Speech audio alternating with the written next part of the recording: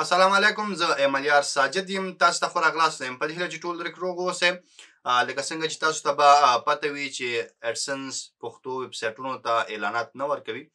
یعنی که چیرته موږ یو پښتو ویب سایټ لرو هغه کنټنټس معلومات نشرات ټول پر پښتو وي نو موږ نشو کولی هغه اډسنس کې مونټایز کړو او له هغه څخه پیسې وګټو خو د دې ترڅنګ موږ سره ټرډ پارټي نتورکس دي د اډس د اعلاناتو چې مونږ کولای شو هغو سره ځان راجستر کړو او د هغو له لارې پیسې وګټو یقینا هغوی خو داسې نه دي لکه اډسنس خو څه ناڅه ګټه مونږ کولی شو له خپلو ویب سایټونو څخه ترلاسه کړو نن په دې ویډیو کې زه پر همدې باندې غږیږم تاسو له طریقه ښیم چې تاسو څنګه کولی شئ هغه اډ نټورک هم تاسو له خیم چې افغانستان کې ډیر زیات استعمالیږي تاسو به ځینې ویب سایټونو او ځینې بلاګونو کې دغه اعلانات کتلی وي لکه خپلواک شو هم دغه هنرستان شو یا د نور سایټونو کې به تاسو دغه اعلانات کتلې وي دا موږ سره د اډسنس اعلانات نه دي بلکې دا موږ سره د ایم جی آی ډي چې دا په نوم باندې موږ سره یو ویب سایټ دی د هغه اعلانات دي چې مونږ کولای شو هلته خپل ویب سټ ريجستر کړو ريجستر کول نو ورسته هغه مونږ ته دوه درې ورځې کې اپروول راکوي او بیا مونږ کولای شو په خپل ویب سټونو کې اعلانات د هغه خوري کړو له هغه ځا پیسې وګټو نن پر همدې باندې کار کوو نو که تاسو چینل نیو سبسکرایب کړئ چینل سبسکرایب کړئ د بیل آیکن کې کوي کوشش کوي ویډیوګانې آنلاین ګورئ زو او پر دغه ویب سایټ باندې غږیږو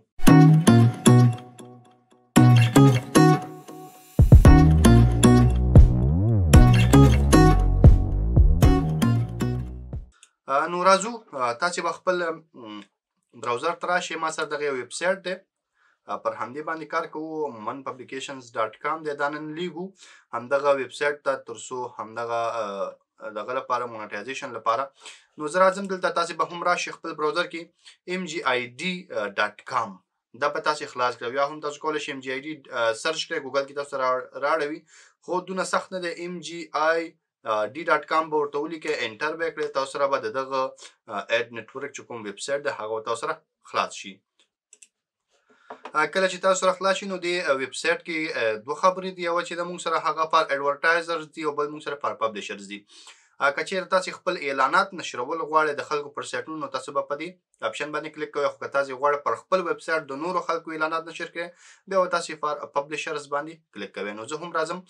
پر پبلشرز باندې کلیک کوم له هغه نور څه تاسو سره دغسې یو صفحه او یا هم دغسې یو ویب سایټ خلاصېږي او دلته څه نه څه د دغه دغه په اړه معلومات لیکل شوي تاسو کولی شئ دا ولولئ او یا هم ضرورت ورته نشته ډایرکټ راشئ ګټ سټارټډ باندې به کلیک وکړئ کله چې کلیک کړئ نو دغه یو فارم تاسو ته راځي او دا فارم به تاسو ډک کړئ دلته به تاسو خپل هغه چې کوم کار دی هغه به انتخابوي تاسو اډورټایزر یو که پبلشر نو تاسو به خپل پبلشر انتخاب کوئ ځکه تاسو سره ویب سایټ دی او د نورو خلکو اعلانات پبلش کوي نو تاسو به ورته پبلشر انتخاب کړئ خپل یو آر ال به دلته تاسو پیسټ کړئ لکه مخکې ما دلته کار کړی و خو مخکې نه وم تللی نو دلته ګوره ته ما سره تیار ایچ ټي ټي پي ایس کالن سلش مومن پبلیکیشنز ډاټ کام راغی تاسو به پوره یو آر ال کاپي کړئ او دلته به پیسټ کړئ له هغه نور څه تاسو به یو ایمیل دلته ورکوي لکه زه راځم خپل ایمیل ادرس ورته لیکم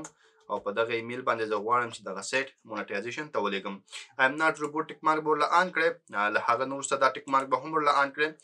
هر په هر حال تاسو کولی شئ د جیمیل له لارې دې ځنه ډایرکټ ساین ان شئ او یا هم کولی شئ د فیسبوک له لارې نه ساین ان شئ خو زه تاسو ته دا دغه کوم له تاسو دا غوښتنه کوم چې کوشش وکړئ دغه طریقې چې ما کار واخلو تاسو هم ترې کار واخلئ اپلای باندې به کلیک کړئ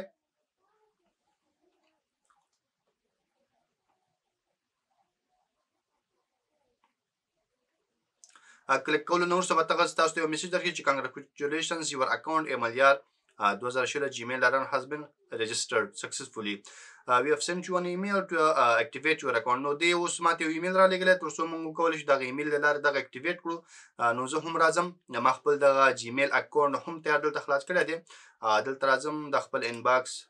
اپډیټ کوم نو تاسو ګورئ چې موږ سره دیو ایمیل دلته راغلی او د همغه سایت له لارې راغلی زه راځم دا خلاصوم دلته تاسو ګورئ موږ سره یو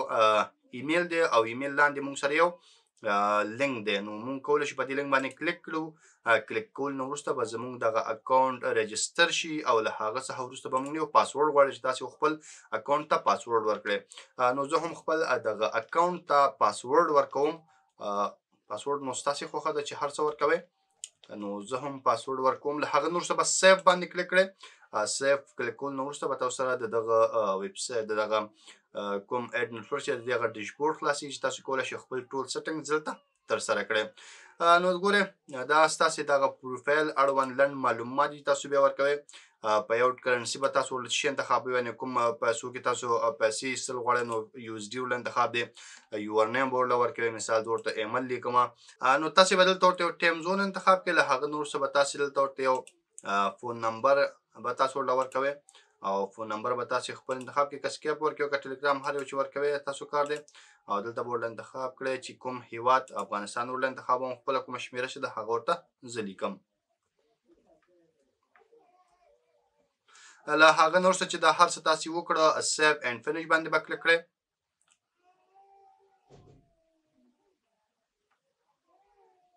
او لدې سره بس تاسو چې کوم پروفایل دی هغه به اپډیټ شي چې کوم معلومات تاسو ورکړي هغه به ورته